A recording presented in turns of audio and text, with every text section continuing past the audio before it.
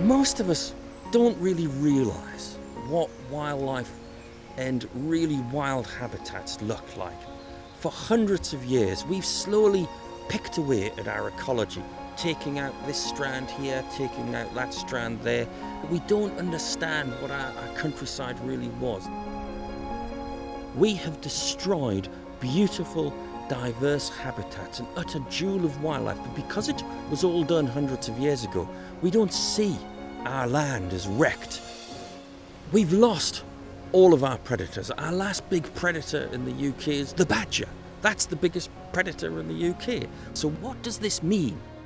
The complexity, the diversity has gone. All those little differences, the tiny differences of thousands of unique habitats that are created by those unique grazing patterns when the animals are in balance and that's kept by a top predator like a wolf or a lynx.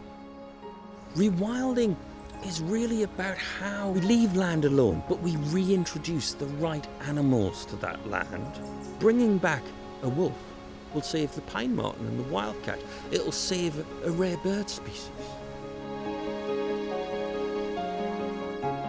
Now we come into a sort of social sphere where people fear wildlife, where they've got a, this horrible natural terror of the natural world.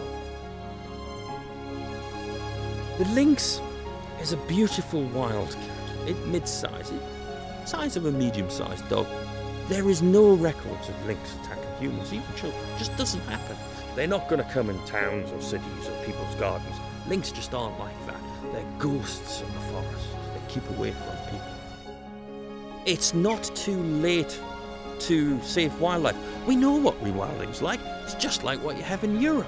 It's just like what you have in America. What is what's wrong with creating a Yellowstone National Park in the Highlands and have all this wildlife? There's nothing wrong with that. Wildlife has an amazing ability to regenerate. We've seen on countless areas where we've started rewilding that wildlife can flourish so quickly it can come back in only a few years once we let it go.